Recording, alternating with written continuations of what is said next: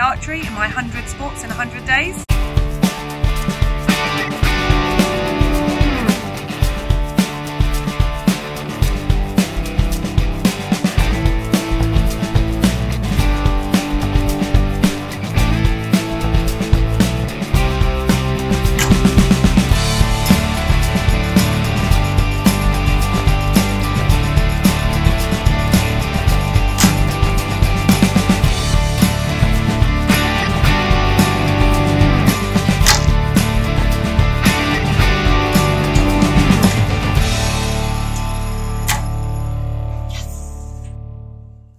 We only did quite a short tasting session, but the archery was good fun.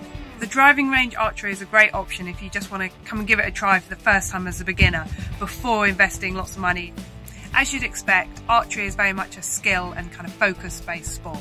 So if you're not really into highly athletic, high adrenaline based sports, then archery is a good one to get, have a go at. I'm Liu, this is 100 sports in 100 days, and that's archery done. All goes to a great cause, all going to Sports Relief. So please donate and keep getting involved. Bye!